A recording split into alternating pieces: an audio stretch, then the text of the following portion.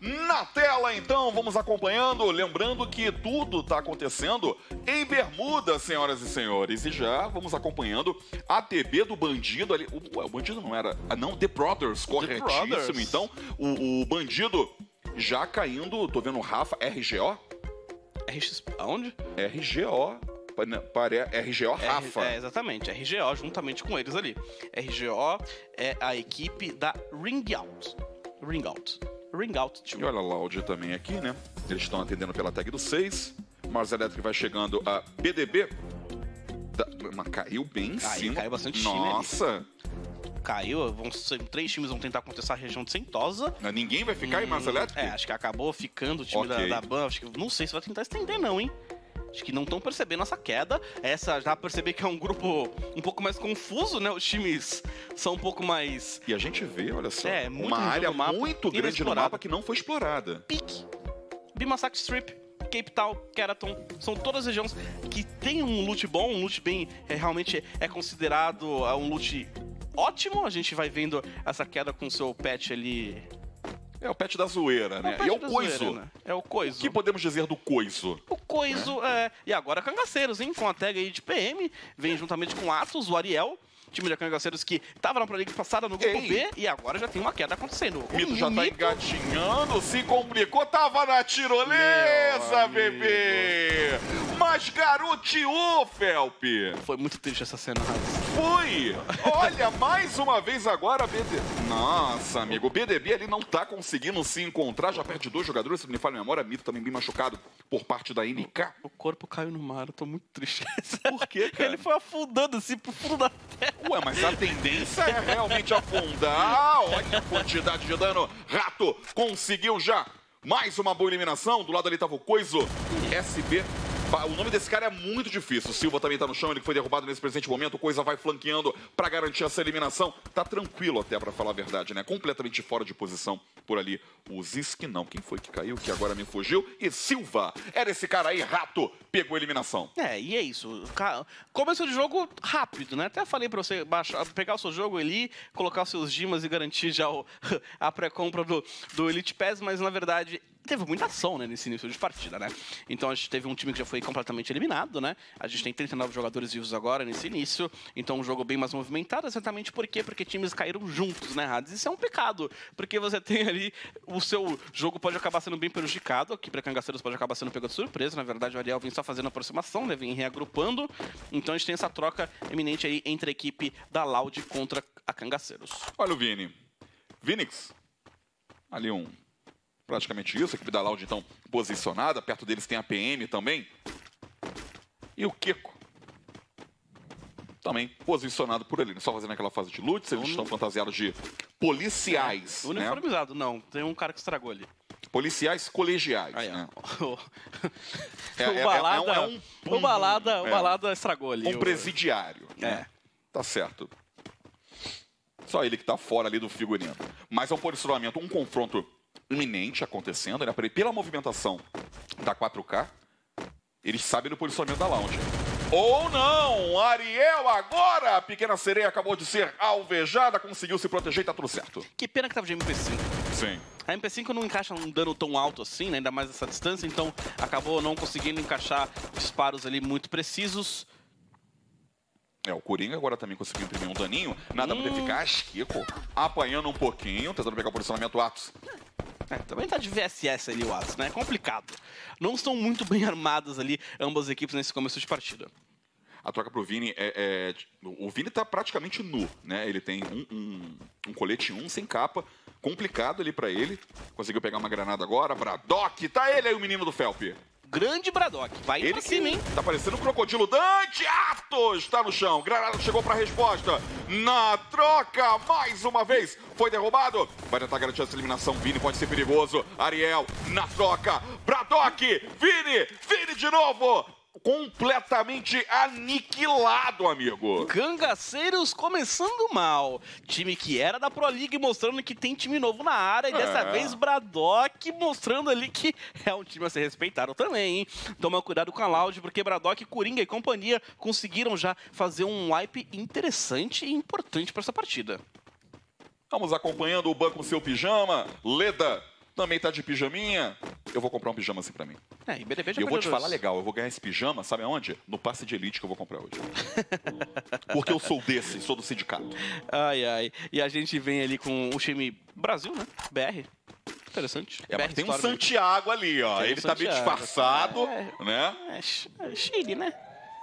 Tá querendo aprontar, né? Ok. Muito longe agora ali o- o- E a, a- a- os baianos. essa, realmente, né? A equipe da, da The Brothers vem fazendo aproximação, ela quer cobrar o time que tá na parte da Village ali, então acho que pode. Vai, vai só aguardar, acho que não vai invadir. Vai pegar esse high ground que tem quando você sai da praia ali e vai tentar só marcar o posicionamento para acabar cercando ali o time adversário. Então, pode ser uma jogada interessante para conseguir pelo menos algumas kills ali a seu favor, o time da The Brothers.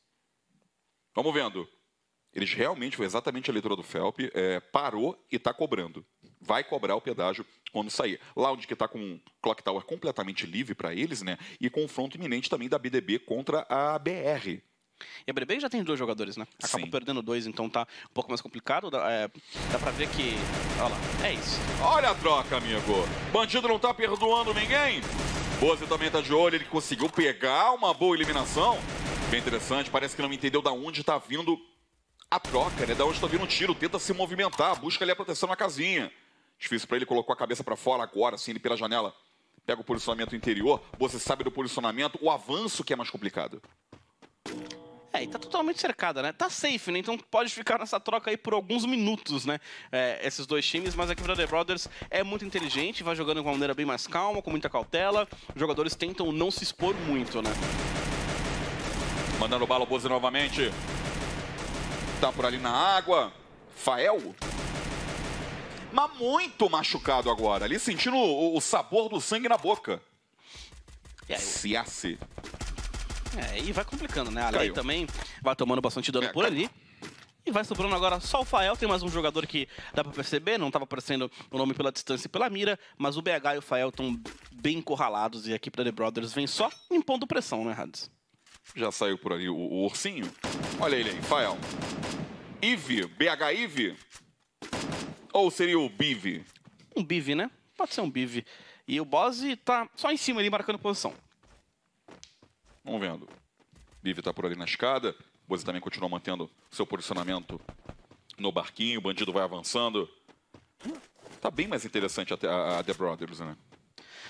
Tá bu- buscando resultado, né? Tá indo pra cima, tá sendo agressiva, tá tentando buscar encurtar a distância. Então acho que foi uma jogada muito inteligente. E também a equipe da OCS, né? Mais conhecida como Os Crias, também vem ali é, tentando só se manter viva, fugindo e evitando o contato. Os jogadores vão se escondendo o máximo que podem, mas o problema é que são 4x2, né? A vantagem numérica e também a vantagem de posicionamento, né? Controlou muito bem ali esse pier.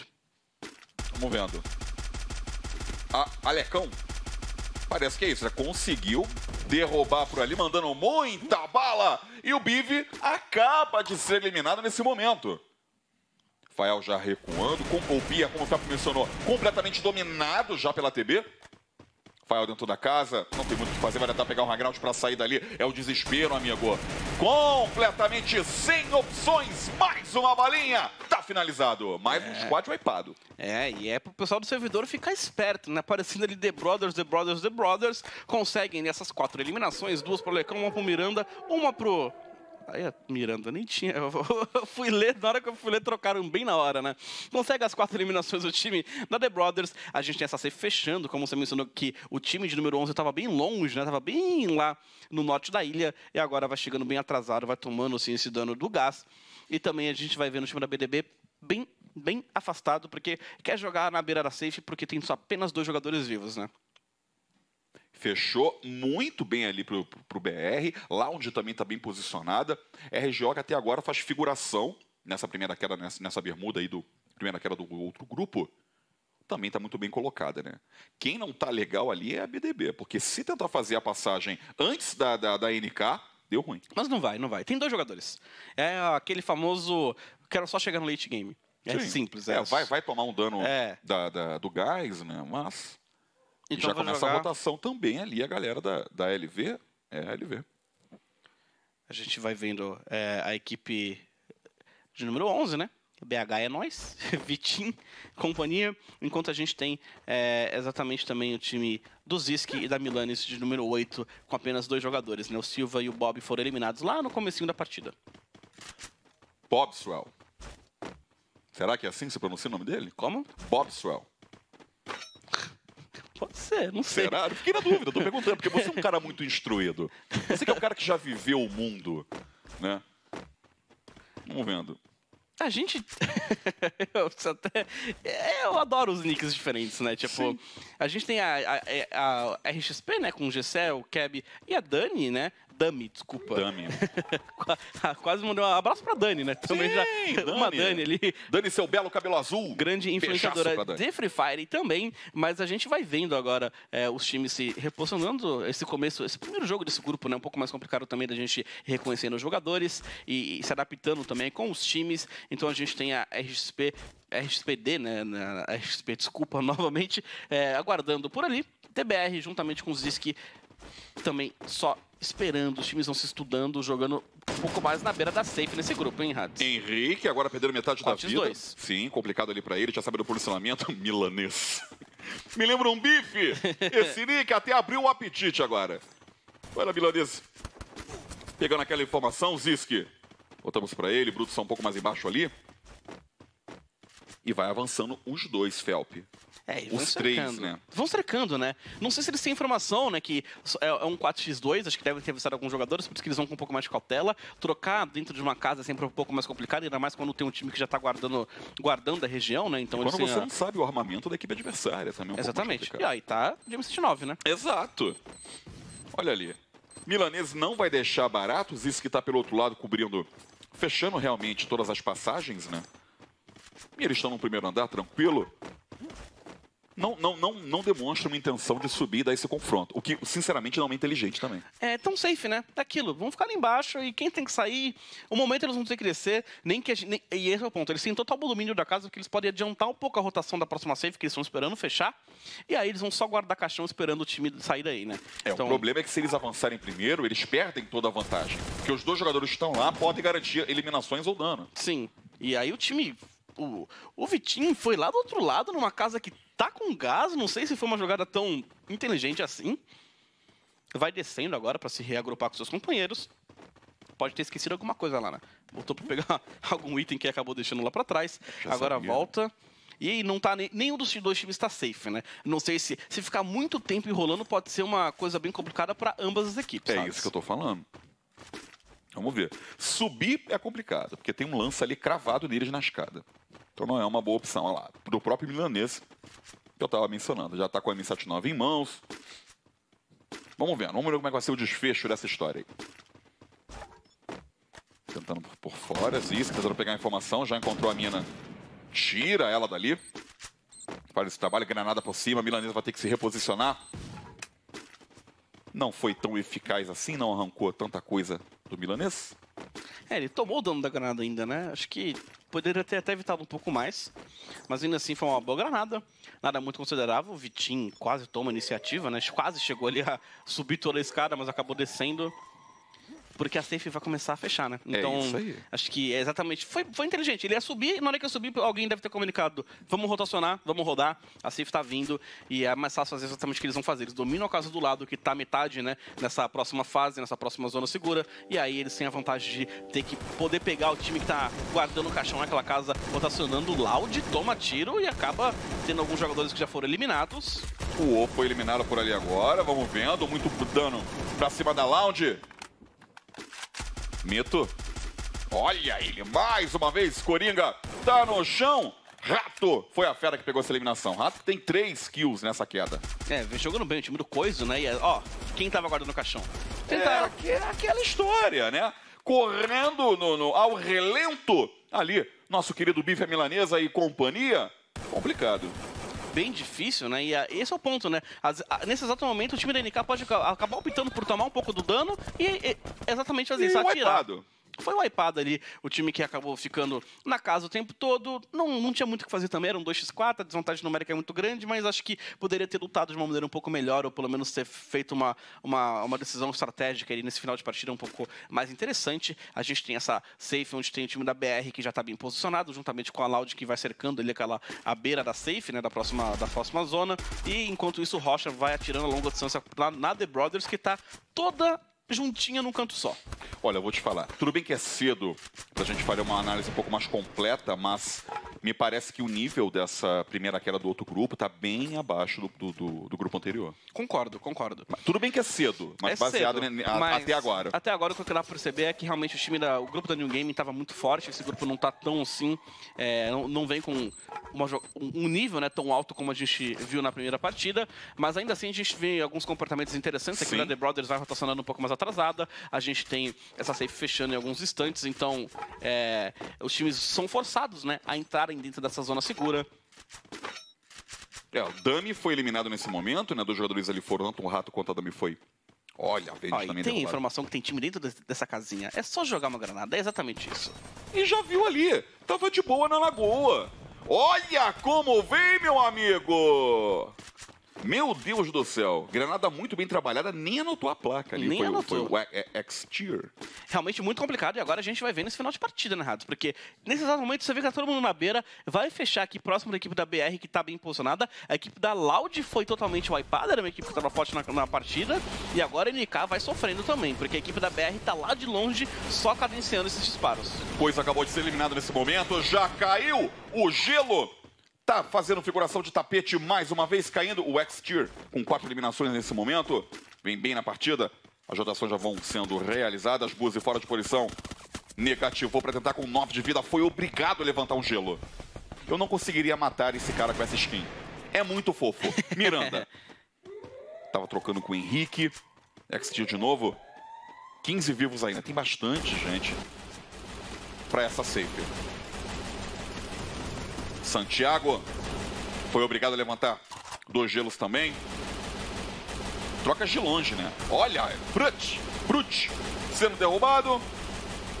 X-Tia também foi derrubado. Veio ali o cover do gelo para levantar o seu coleguinha dá tempo mais do que suficiente para usar a bandagem. Santiago pegando mais uma boa eliminação. Um domínio no meio da safe, mas não sei se é inteligente, porque agora vai ser alvo de todo mundo, o time da LF. Exatamente o que vai acontecendo com o BH. Muitas eliminações vão acontecendo nesse, nesse exato momento. Eram quatro times, agora são três, hein, Rados? Vamos acompanhando nove vivos, então, distribuídos em três squads. Olha o, o, o, o Alecão. Protegido pelo gelo, parece que deu aquela... O silêncio que precede a bronca, né? É esse momento. Troca vem acontecendo novamente. Miranda aplicando pra cima, Bozo pegando mais uma boa eliminação. Duas equipes, 4-4, dois squads full para fazer aí o desfecho, para terminar essa primeira queda. As granadas foram trabalhadas. Alex já muito machucado na câmera dupla. Você vai acompanhando. A vende de um lado, Ciace do outro. Miranda é o alvo. Tá no chão. A granada veio lá do outro lado. Senhoras e senhores, buia! BR garantindo a primeira queda. E todo mundo de uniforme, né? A equipe da BR consegue essa primeira vitória. A equipe conhecida como BR Storm fica em primeiro, The Brothers fica em segundo. A gente okay. mencionou que era um time muito forte. Consegue pelo menos ele a sua segunda colocação. Em terceiro lugar ficou o time da La Fúria.